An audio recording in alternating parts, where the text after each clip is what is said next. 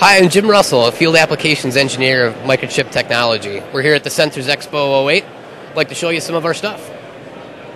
This is our PIC18F97J60, our uh, PIC18 microcontroller with the built-in 10 base T Ethernet MAC PHY. It's running our TCP/IP stack that that we uh, wrote internally. Going out to the Shoutcast server, uh, it's internet streaming radio, pulling it down, buffering it, and playing it through the speakers.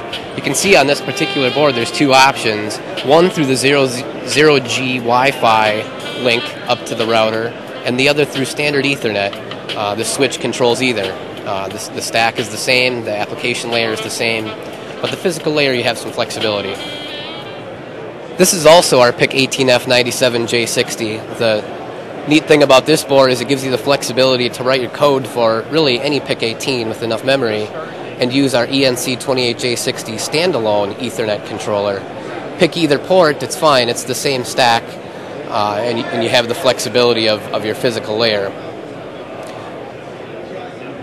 Down here is our Explorer 16 demonstration board on which you can plug in any of our 16-bit PIMs or even our 32-bit PIC32. Uh, from there, you can run the TCP/IP stack with our ENC28J60 Ethernet controller on any platform, 8-bit, 16-bit, or 32-bit, with an identical application layer. So if you wanted to run any TCP/IP type connectivity, perhaps an HTML server, uh, you can add it and scale your performance and controller based on your application.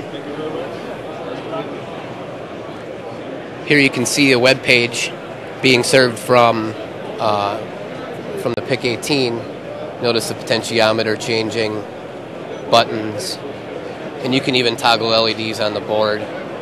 Form processing, right to the LCD, dynamic variables, a lot of flexibility. This is the same Explorer 16 board that we looked at before with the Ethernet PICtail Plus connected to it. Uh, the expandability of our tools, you can plug in this USB and QVGA display board into the same set of connectors. We're still running a 16 bit microcontroller, but it's also running USB on the go as well as driving a graphics display. Uh, we wrote our own graphics library internally, and it's downloadable for free from the internet. Uh, you can see here this is driving a QVGA. Um, go to lighting, and you can see how you can use this with the USB on the go to control a USB device and change which colors are being lit up over USB from the PIC 24 to the PIC 18.